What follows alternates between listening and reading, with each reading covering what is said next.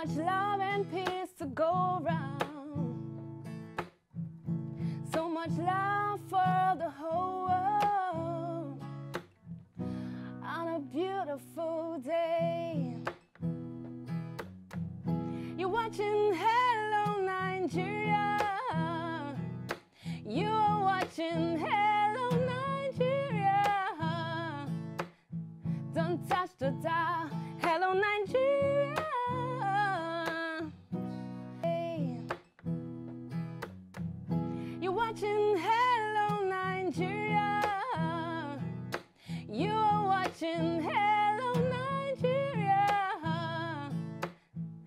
Don't touch the dial. Hello Nigeria. Sit back and relax.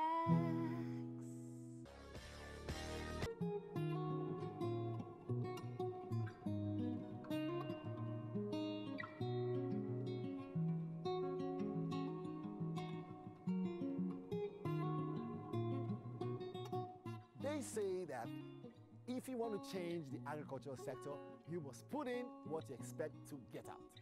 But the question is, which sector of agriculture would you want to get involved in? A lot of us do believe that agriculture is a way out in an event where oil sector drops.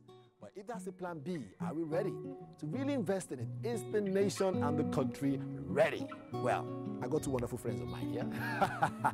Anyways, snail it is. And today we're talking about snail production and snail farming. And as much as you know, if you put in much to it, you never know how you can benefit from snail farming. Come with me. I get to talk to Timmy Africa and also talk to Mr. Emmanuel. And they are people who know exactly what it's like to grow snails, process them, and export. Let's go and see exactly what it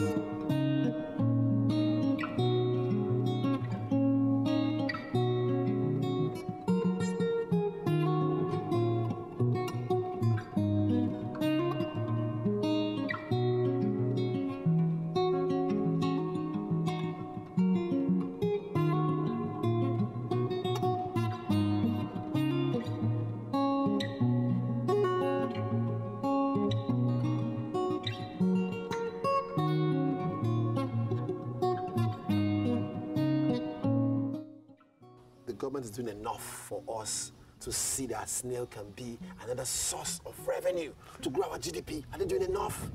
The government, I do not know whether they even know about snail. That's another thing. That's in quote. I don't even because one, one snail can give you 200 eggs, the least. 200 eggs. 400 eggs. They don't have female and male. Both male and female will lay these eggs. You are, you, as you move in here, you see eggs everywhere. So, in that case, those uh, uh, 200 eggs, if you have two snails at the end of a session, Which is how long? a, a session could be uh, maybe six months, maybe uh, three months. At the end of the session, it will lay because it will lay in a session. At the end of that session, you have that's, that two snail you started, you have 400.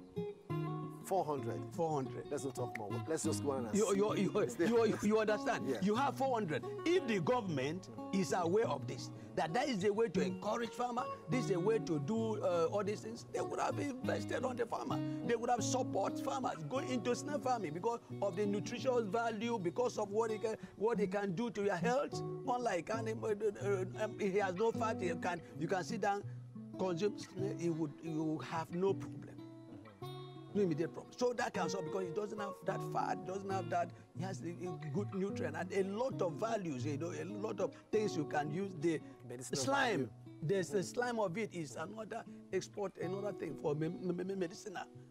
So all that governments, they, they, because they would have been encouraged, uh, not among all our snail farmers, I've not seen anybody that said they, they have any support on this.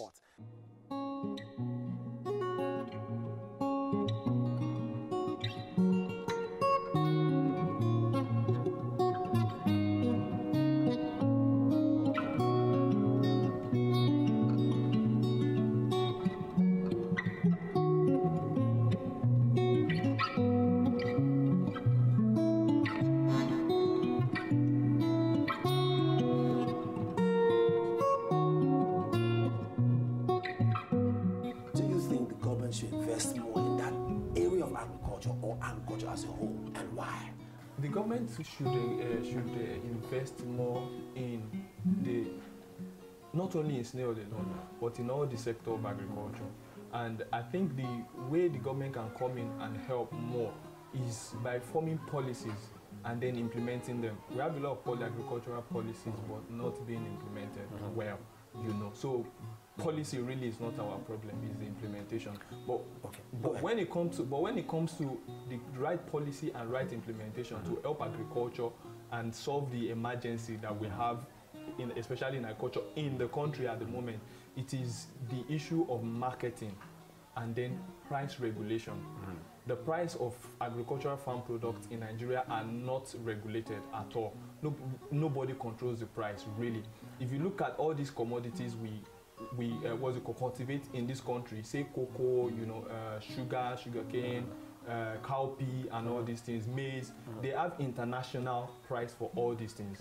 The pricing has always been the issue then the marketing. So i think the government can come up with policy like uh, uh, what have you local marketing board you know like during the days of the western region the likes of the, the days of the Awolowos and the and the likes you know. So the, because that time the government was buying you know from farmers.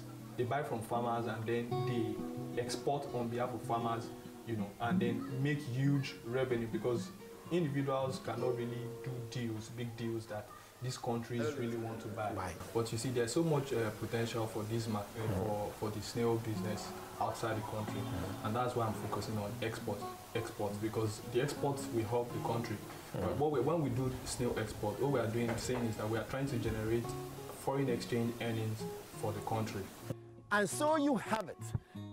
Mr. Emmanuel gave us a detail about how snails can be processed and how, more importantly, how you can grow snails. But the good thing is, you know that snails can actually feed you, your family, and actually do the business that you want to do by you investing in it. Remember, Plan B, agriculture, snail farming, you decide.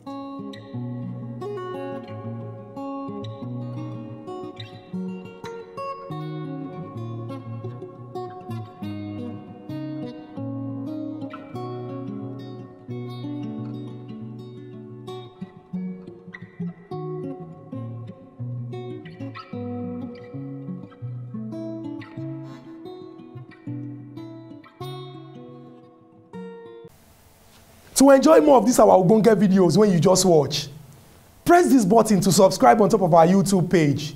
You go love am.